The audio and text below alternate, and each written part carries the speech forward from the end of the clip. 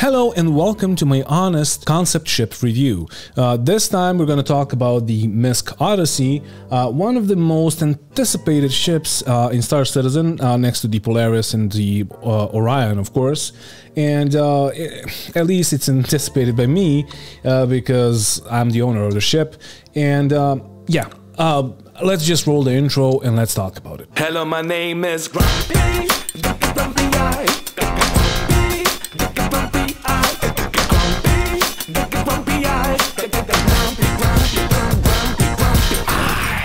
Alright, so let's talk about the specs of the ship first. So it has a tier 2 medical bed inside of it. It also has a capital shield.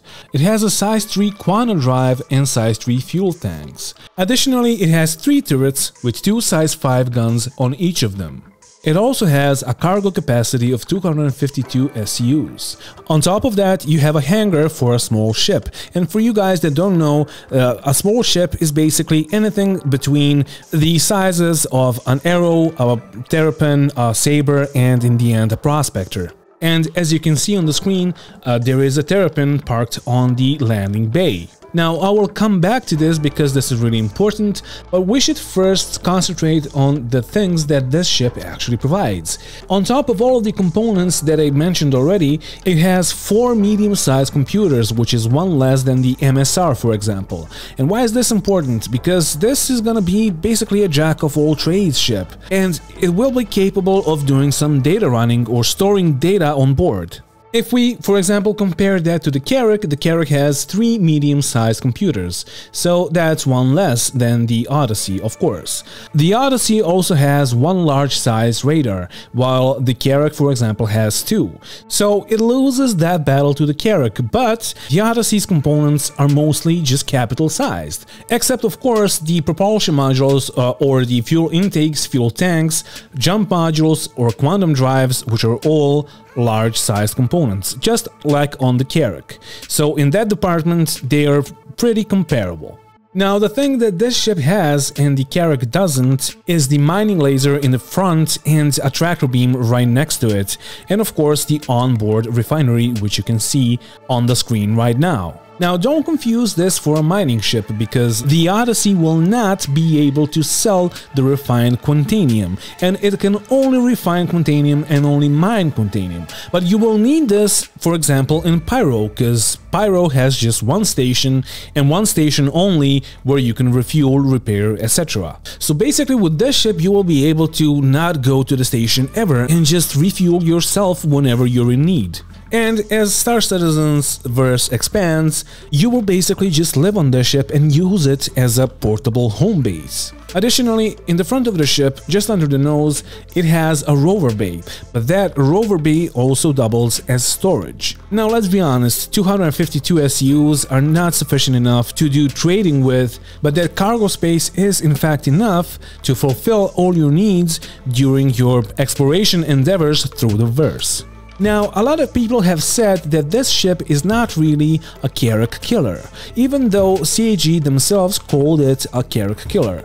And the main reasoning behind that is because it lacks one large-sized radar compared to the Carrack. But here's the thing. Why would you even need a cartography deck or the second large-sized radar if you have a big hangar in which you can store a Terrapin? And in the lore, the Terrapin is obviously the best and the most commonly used exploration ship.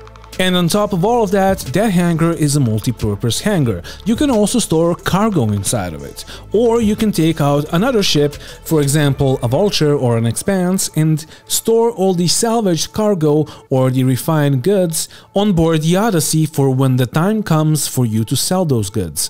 Also, you can use it for other types of missions, like let's say FPS missions or, or other kinds of exploration missions where you would store all the loot inside of the Odyssey for further reselling once you're close to a station. And as I've said, the cargo area also doubles as a rover bay, but they are split into two sections. So if you want to take an Ursa rover, for example, you will still use all the 252 SUs of capacity of the cargo bay. But if you don't want to use the rover bay as a storage compartment, you can double the size of the vehicle that you're storing inside of the rover bay. So you can basically store a ballista size vehicle.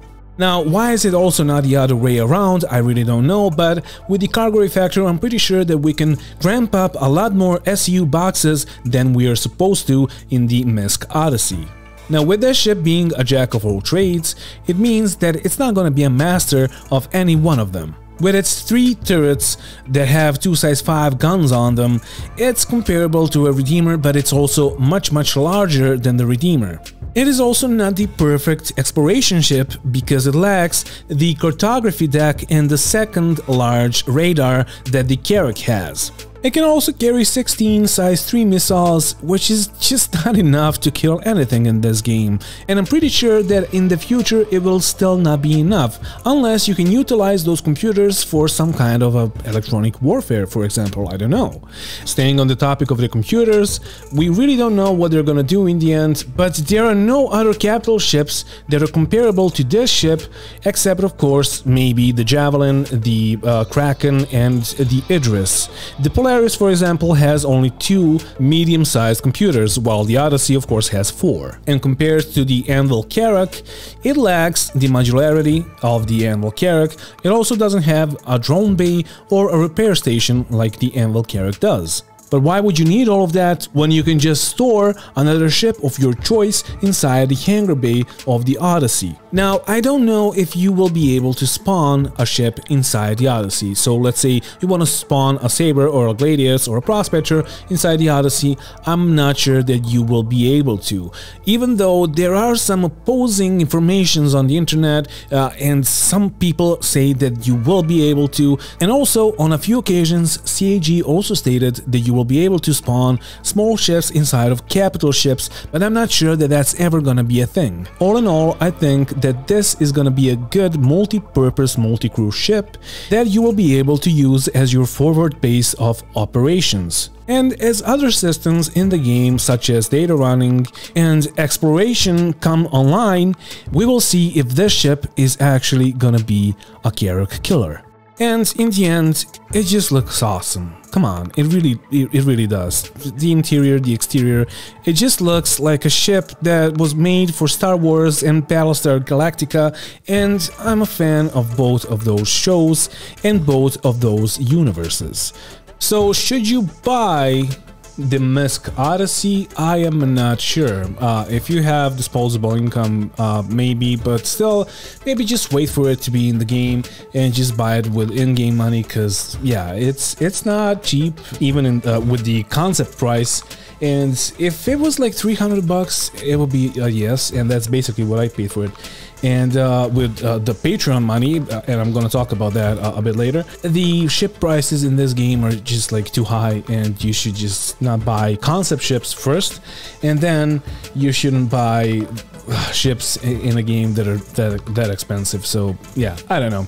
Uh, if you want to buy it, of course, fucking buy it because it's it's gonna be an awesome ship and it's gonna be your home base basically. So thank you for watching and thank you to all my patrons for supporting the channel and for supporting me buying the ship. Uh, if you want to be a supporter of the channel, you can do it by going into the description of the video, info, whatever. Uh, there's a Patreon link there, and uh, you can support the channel, support me, and uh, yeah Thank you again, thank you for watching, and don't forget to bring the towel when you're traveling through space, and uh, bye. Mwah. See ya.